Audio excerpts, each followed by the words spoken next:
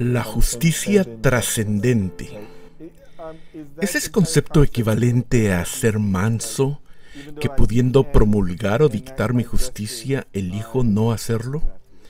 No lo había considerado en términos de la mansedumbre, pero creo que sí encaja con la idea.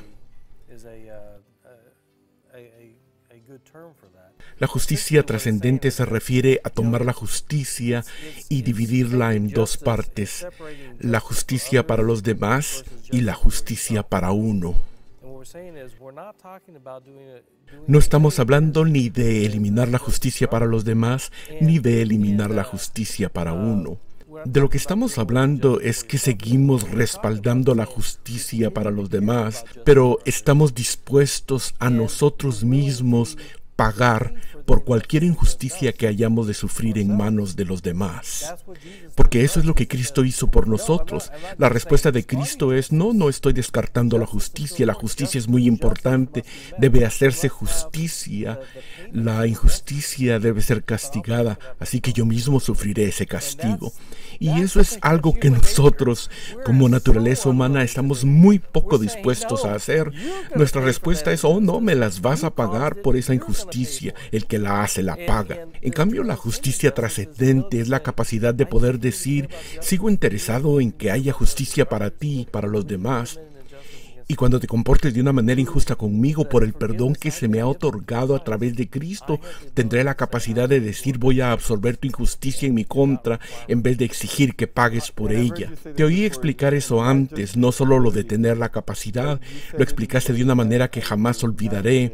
Hasta la compartí con mi esposa cuando llegué a casa. Tengo la libertad, sí, la libertad de pagar por la injusticia de los demás. Nunca lo había visto de esa manera.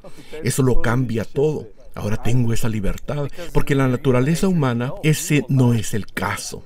Pero Cristo nos da la libertad de poder hacerlo. Esta fue una lección y una idea que Jody y yo tuvimos que tratar de entender juntos porque teníamos diferentes puntos de vista de la justicia. Yo veía la palabra desde una perspectiva más positiva y Jody tenía otra cosa en mente. Solo después de varios correos electrónicos y conversaciones largas pudimos definir los términos y entrar en materia. Creo que a los hermanos tal vez les gustaría ir un poco sobre las diferentes clases de justicia. Jory hace una distinción entre la justicia que buscamos para quienes han sido agravados y exigir nuestros derechos. Es tan fácil enfocarnos en nuestros derechos, exigirlos y volvernos vengativos.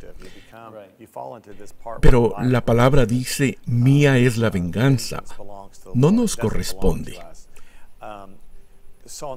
Entonces, por un lado, ratificamos la idea del famoso verso de Miqueas, lo que es bueno y lo que pide Jehová de nosotros, hacer justicia, amar la misericordia y humillarnos ante Dios.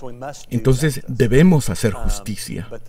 ¿Saben qué es lo hermoso de esta lección? ¿En dónde se encuentra esa justicia? La cruz es la justicia, es la justicia de Dios es allí donde se hace justicia. En el Antiguo Testamento la palabra hebrea para perdonar era literalmente cargar o llevar sobre sí. Lo vemos de una manera más vívida el día de la expiación con los dos machos cabríos. Uno era ofrecido y su sangre era llevada al lugar santísimo. El chivo expiatorio ponía sus manos sobre su cabeza y lo dejaba ir por el desierto para llevar sobre sí los pecados de Israel, símbolo del perdón en la cruz. Y esa palabra cargar, Isaías 53 la usa, Él cargó con nuestras enfermedades y soportó nuestros dolores. Esa es la justicia de Dios, quien dice, yo me encargo. He aquí toda la injusticia existente. Alguien tiene que cargarla, alguien tiene que responder y restituir. Yo la voy a llevar sobre mí. Yo voy a pagar todas estas deudas para comenzar de nuevo con reconciliación. Porque son estas deudas entre nosotros las que nos impiden reconciliarnos, nos impiden unirnos. Esta lección es quizás mi favorita de todas porque nos invita a pensar sobre la justicia, pero no desde nuestra perspectiva humana. La estatua de la libertad, estamos filmando aquí cerca, la dama de la justicia con la balanza en su mano izquierda, deseamos igualdad y que todo sea justo.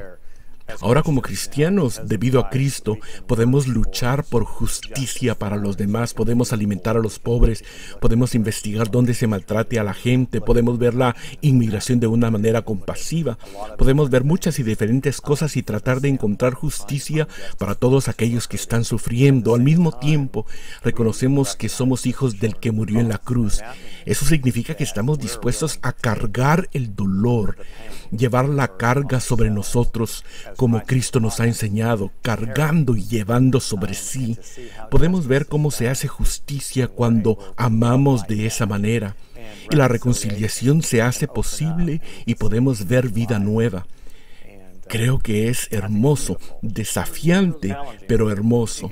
Se remonta a las tres naturalezas de las que hablamos con anterioridad, la naturaleza generosa, la naturaleza mezquina, la naturaleza justa. Podemos darnos cuenta que la naturaleza justa no es realmente una verdadera naturaleza, en realidad solo son dos, la naturaleza generosa o la naturaleza mezquina. Andamos en busca de nuestra identidad. Podemos ser mezquinos por nuestra cuenta. Pero Dios nos invita, nos da su naturaleza para que podamos trascender lo que es justo, para que, dejemos de buscar la justicia humana y seamos transformados a una naturaleza generosa. Y por enésima vez, es algo que ninguno de nosotros podemos lograr solos. Aún con el Espíritu de Cristo en nosotros nos resistimos porque seguimos aprendiendo a desprendernos de la naturaleza caída. Seguimos aprendiendo a rendirnos, seguimos aprendiendo a sacrificarnos pero eso es la belleza de que solo Dios es bueno, pero está dispuesto a compartir esa bondad con nosotros y darnos su naturaleza buena si nos rendimos y la aceptamos.